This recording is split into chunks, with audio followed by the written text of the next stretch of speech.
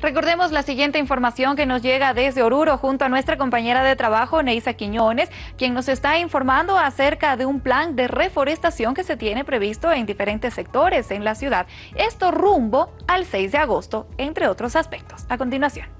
La Secretaría Municipal de Forestación en Oruro desarrollará diferentes actividades durante esta gestión, sobre todo en el embellecimiento de las áreas verdes y de esta manera aportar al buen estado del ecosistema en el municipio. Bueno, eh, estamos eh, con un cronograma de trabajo que hemos entregado a la alcaldesa Hilaria Cejas en el mejoramiento de todos los jardines eh, de nuestra ciudad con vísperas al 6 de agosto.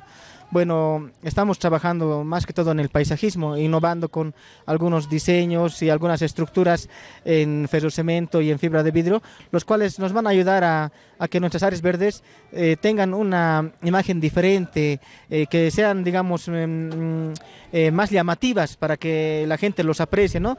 Entonces, nuestro cronograma va a concluir este fin de mes y estamos prácticamente así un poquito el tema de la nevada nos, nos va a retrasar un poco hasta que se, mm, se, se, pierda, ¿no? O sea, desaparezca la nieve, ¿no? Eh, yo pienso que em, va a ser hasta el día lunes que vamos a retomar el trabajo del paisajismo. Para tal efecto se rehabilitará nuevas áreas verdes con la presencia de fuentes acuáticas, lo cual será un atractivo más para visitar la ciudad de Oruro.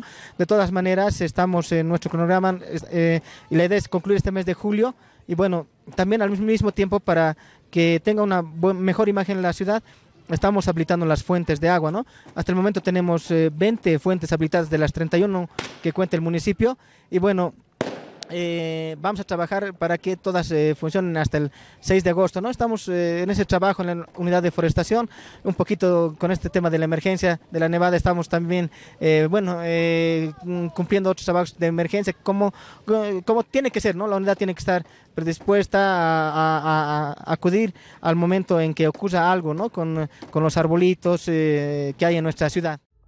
Seguramente usted recuerda que tiempo atrás en estos conflictos que se han registrado en la Universidad Pública del Alto, pues en estas manifestaciones y enfrentamientos, un can, una mascota, ha resultado herida. Sin embargo, este perrito ahora forma parte del auto. Pues le estaremos presentando estos detalles junto a Silveria Laureano. Recordemos la siguiente entrevista.